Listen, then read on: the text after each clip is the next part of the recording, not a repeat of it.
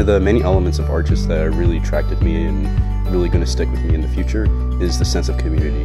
Um, it extended further than just the Arches Fellows, but also to the GEM students and to all the physicians that are all in the hopes of diversifying the field of medicine. I like to advocate for others and other um, important causes that are near and dear to me.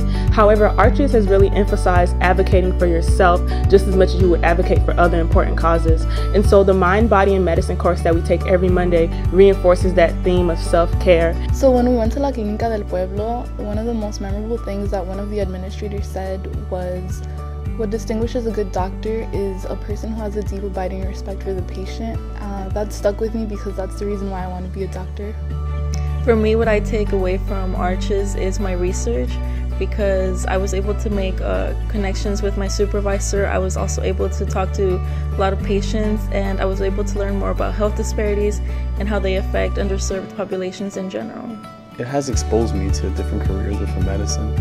Um, because of Arches, I now know that I, I want to take a, a, step right before I actually go into medicine. I actually want to go into public health and then take a few years working there, become more exposed, become a more experienced student, and then go on to medical school. I will definitely be able to take all of my experiences away and truly use that in my future career.